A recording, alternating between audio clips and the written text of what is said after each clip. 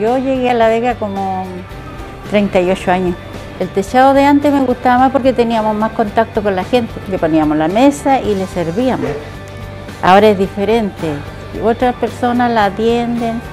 Bueno, han venido niñitos chicos que yo los conocía enanitos, ahora jóvenes, incluso con hijos. Yo para el incendio me despertaron. Yo estaba acostada la noche. No vi nada de puro juego nomás. Fue terrible porque era día domingo y era fin de mes.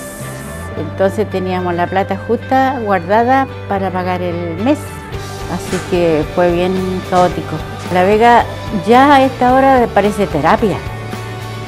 Porque vengo para mm, trabajar y me olvido de montones de cosas. Bueno, a mis clientes yo les, les digo de que van a ser bienvenidos, que van a encontrar lo mejor porque siempre vamos a tratar de darles lo mejor. Y ojalá que no me olviden